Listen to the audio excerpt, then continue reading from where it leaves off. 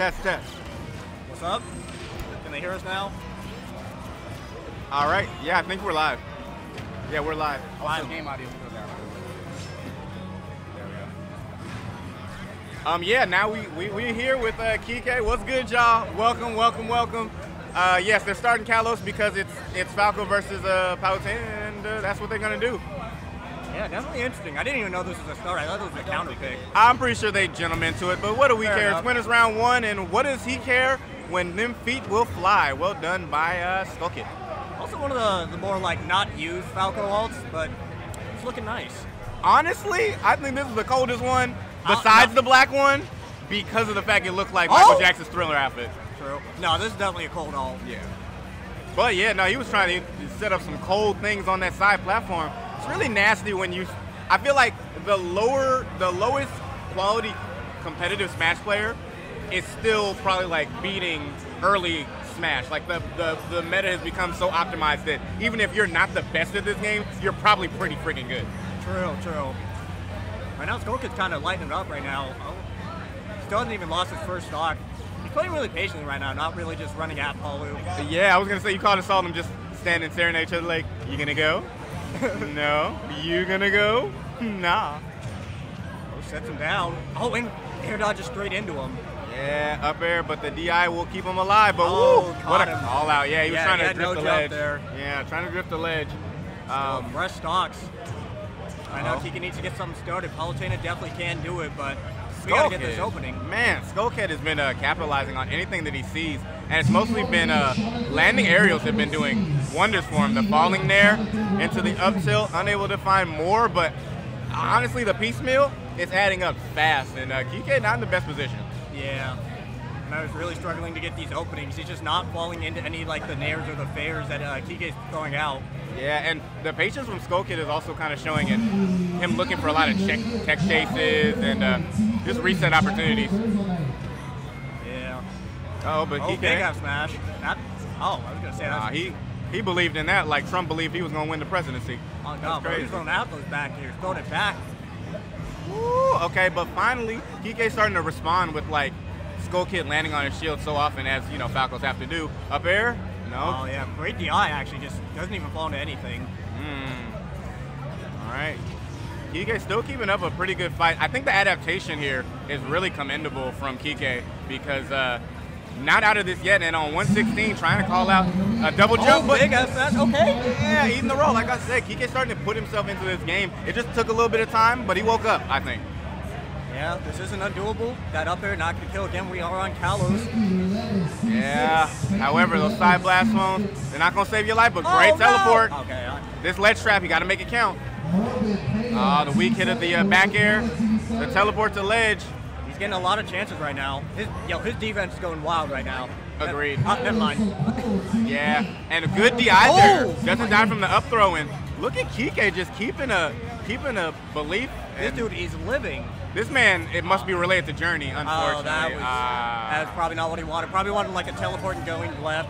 Unfortunately, got the explosive flame, but Kike put up a really good defense right there. And like we saw, Skull Kid was a usually defensive player, so when he was forced to go on the offense, he Yeah. really wasn't getting caught a lot.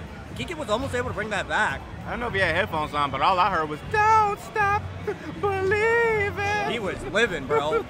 Hold on to their feeling.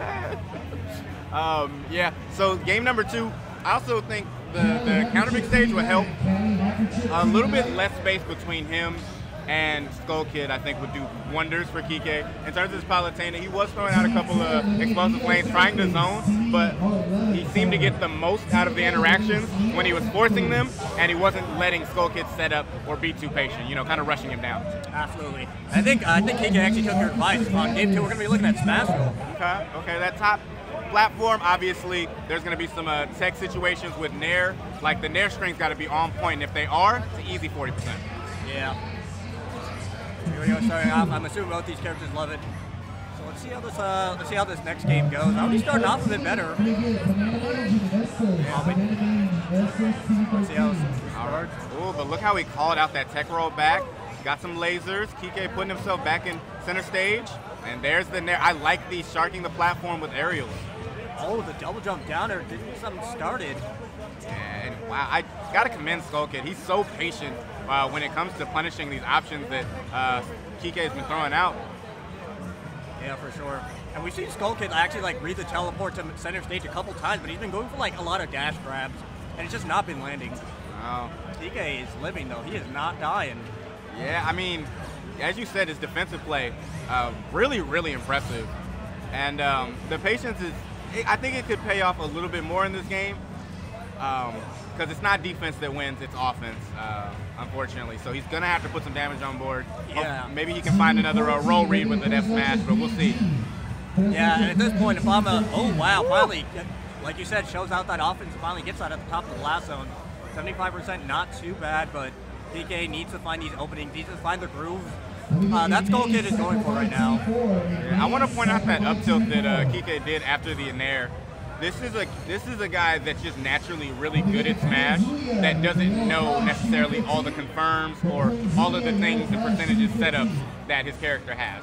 Yeah. At least as much as Skull Kid, who's been going for a lot of the common common options, up throw, up air, you know. Falco BNBs, baby. Yeah, all the BNBs that matter. And oh, wow. can't kick that. Yeah, great stuff from QK. Finally getting a uh, killing uh, explosive flame with a very quick teabag to let you know I'm steeping, baby.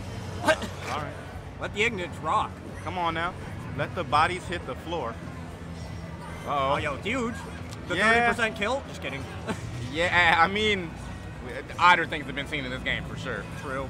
Right now, God, what odd, what odd is this offense right now that Skull Kid is putting out?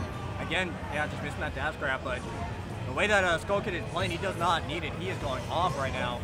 Yeah, and still technically even, but tries to tries to roll back. A lot of rolls from Kike, and the patience that uh, Skull Kid has means that eventually he's going to pick up on you know some of these habits. Yeah, true. I guess to TK's credit, he hasn't really been punished for it, but that was a great roll, actually. Whoa, but a down. Oh, no. Yo, what?